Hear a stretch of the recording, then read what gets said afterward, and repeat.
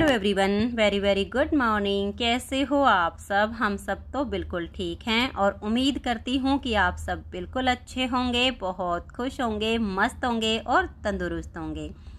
आप सभी का आपके अपने चैनल एस के ब्लॉग्स में बहुत बहुत स्वागत है। तो फ्रेंड्स, सबसे पहले आप सभी को मेरी राम राम ये सुबह साढ़े छः बजे का टाइम है और अभी मैंने साफ़ सफ़ाई का काम शुरू किया है।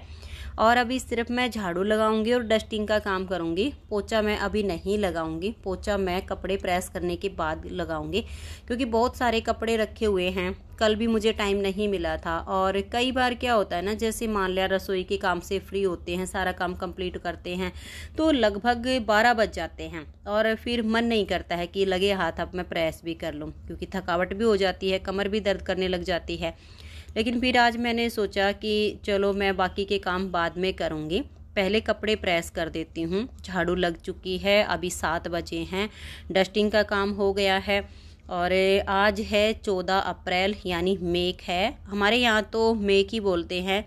किसी और जगह पर शायद कुछ और बोलते होंगे। आपके वहाँ पर क्या बोलते हैं चौदह अप्रैल के दिन को? आप सब मुझे कमेंट्स करके ज़रूर बताइए। हमारे हरियाणा में तो मेक ही बोलते हैं। और एक पुरानी कहावत भी प्रचलित है कि आई मेक आला सूखा, एक कम एक, क्योंकि इन दिनों में गेहूँ की कटाई चल रही होती है। आजकल तो मशीनों से सब काम होने लग गए हैं। जल्दी ही सब काम हो जाते हैं। पहले तो हाथ से गेहूँ की कटाई होती थी तो काफ़ी दिन तक ये काम चलता था बट आजकल ऐसा नहीं होता है। आजकल जल्दी काम हो जाते हैं सबके। तो आज मेक है और आज खीर बनेगी तो मैंने चावल धो के और भिगो के रख दिए हैं कि कपड़े प्रेस करूँगी ना, तब तक चावल अच्छे से फूल जाएगी। और फिर पोचा लगाने से पहले मैं दूध में चावल डाल के और गैस का फ्लेम कम कर दूँगी और खीर को पकने के लिए छोड़ दूँगी। पोचा लगाऊँगी, नहाऊँगी, धोऊँगी, तब तक धीमी धीमी आँच पर मेरी खीर बन के तैयार हो जाएगी। नहीं तो फिर सब्ज़ी भी बनानी है, रोटी बनानी है, एक साथ सारे काम हो जाएँगे और इतने काम एक साथ कंप्लीट करने में टाइम भी ज़्यादा लगेगा। इस वजह से मैंने पहले ही चावल भिगो के रख दिए हैं। और ये विशाल के पापा जी के ही कुर्ते पजामे ज़्यादा हैं। मेरा तो सिर्फ़ एक ही सूट है और एक कुर्ता सासू माँ का है, क्योंकि सलवार उनकी आजकल होती नहीं है, पजामा पहनती हैं तो पजामा अलग तरह के कपड़े का होता है, उस पर प्रेस की ज़रूरत नहीं पड़ती है। तो एक कमीज उनका है, एक सूट मेरा है, बाकी इनके हैं। तो ये सारे कपड़े प्रेस करके और इनको इनकी जगह पर सेट कर देती हूँ। फिर पोचा लगाऊँगी, खीर बनने के लिए रख दूँगी और फिर मैं अपना नहा धो के और रसोई का काम संभाल लूँगी।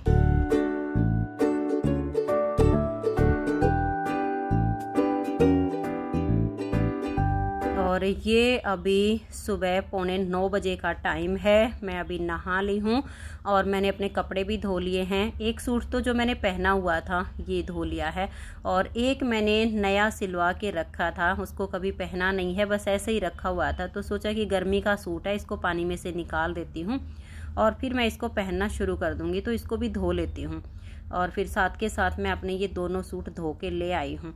अब ज़्यादा मैला तो था नहीं तो सोचा मशीन में कहाँ इकट्ठे करूँगी, ढेर लग जाता है तो क्यों ना मैं हाथ से ही धो के सुखा देती हूँ। काम कंप्लीट हो जाएगा और कपड़ों का ढेर भी कम लगेगा। और शाम के टाइम पे अगर जैसे टाइम मिल गया तो मैं इन दोनों सूट पर प्रेस कर दूँगी तो ये काम भी होता चला जाएगा। और खीर मेरी बन के हो गई है तैयार, सब्ज़ी भी मैंने काट के रखी हुई है।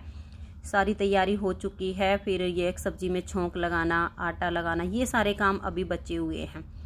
तो कपड़े मैंने सुखा दिए हैं और कपड़े सुखा के अभी एक बार बालों में कंघी कर लूँगी, क्योंकि ये वाला काम भी अगर ना के साथ के साथ हो जाता है तो ठीक है। और अगर साथ के साथ कंघी नहीं करती ना तो कई बार तो फिर होती नहीं है, अगले दिन कंघी करनी पड़ती है।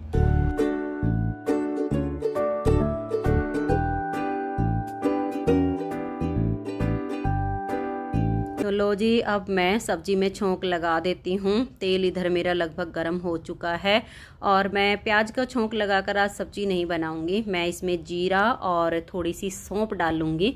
जीरा और सौंप का जो हम छोंक बनाते हैं ना, इससे आलू मटर की तरी वाली सब्ज़ी खाने में बहुत ही स्वादिष्ट लगती है और फिर छोंक में ही मैं थोड़ी सी कसूरी मेथी डालकर पका दूँगी तो स्वाद और भी ज़्यादा बढ़ जाएगा।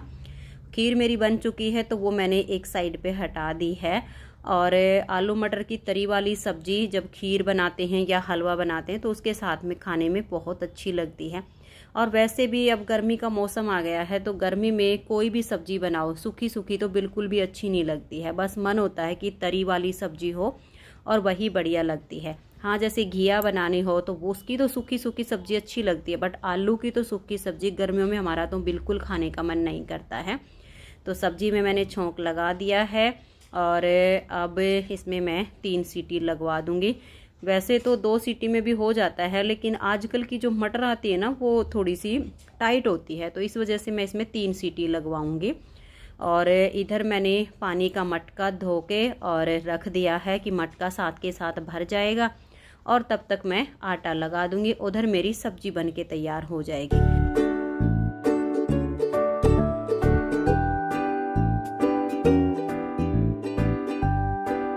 और बाकी के सब काम तो मेरे कंप्लीट हो चुके हैं। बस अब आटा लगा के और मैं साथ के साथ रोटी बनाना शुरू कर दूँगी।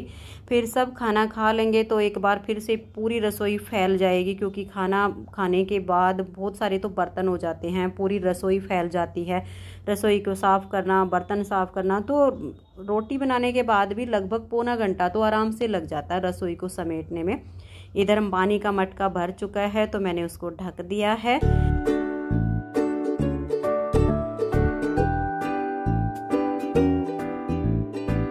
फ्रेंड्स आज वीडियो मैंने ज़्यादा बड़ी नहीं बनाई है। बस छोटी सी वीडियो में ही बहुत सारे काम आप सबके साथ शेयर किए हैं। तो फ्रेंड्स से, आज सुबह का मेरा ऐसा ही कुछ रूटीन रहा है और आज की इस वीडियो का मैं यहीं पर एंड करती हूँ।